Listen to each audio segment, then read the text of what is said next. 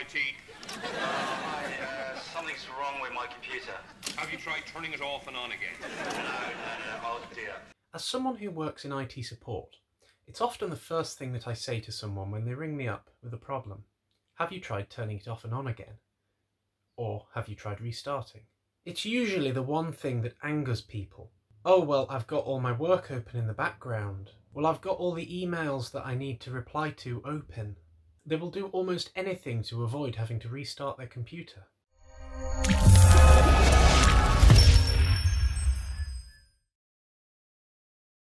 Most bugs or freezes on a computer are caused by a hanging program or process.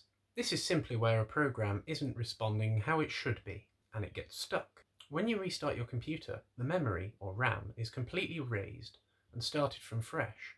This means that all the programs that are loaded are therefore in a working or running state, as long as there isn't another issue behind the problem. This means that all of the hanging programs are cleared from memory. Yes, you can try to use Task Manager to find which process is causing the problem, but often it's a lot quicker to just restart your computer. There are many, many tasks that run on a computer, especially when it's running Windows or Mac OS. Sometimes, if your program has just a small error, it will find a way round and continue working, but often this is not the case. And even if it is the case, you might find that there's problems further down the line when another program tries to use the same bit of memory. Many processes expect a resource to be present in memory. When it's not, it gets confused and can hang. This is often what causes the page fault in non-page area blue screen of death. So when you reboot your computer, Windows or Mac OS or Linux reruns all of its code from the beginning, in hopefully a working state. This way everything should work as expected. It's a bit like when your cake batter goes so wrong that you just give up, throw it in the bin and start again. Also, some programs can fail and cause what's known as an infinite loop. This is where the program gets stuck doing the same thing over and over again and hogs a lot of CPU time. This therefore causes the computer to slow down and you can experience delays in typing or programs that just run really sluggishly. If you still have a problem after you've tried rebooting, then there is obviously a software or hardware issue, in which case you do need someone from IT to have a look at it. What doesn't help is when you say that you've restarted your computer already, when in actual fact you haven't, and we'll then spend hours trying to solve the problem, and then in the end restart it and they all magically fix themselves. It saves a lot of time just to restart properly before calling.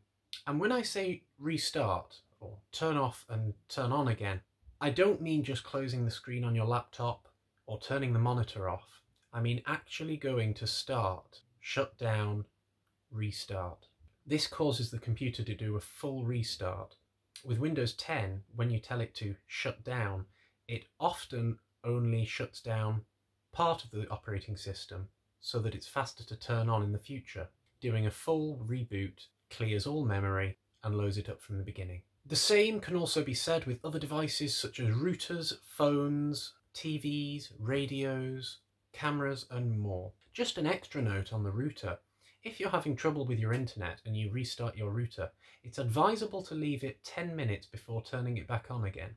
Turn it off at the plug and leave it 10 minutes and turn it on again. This is because your ISP's equipment at the other end tries to hold that connection for up to 10 minutes. If you leave your router off for 10 minutes, it stops trying to recreate the connection and it will make a completely new connection when your router turns back on.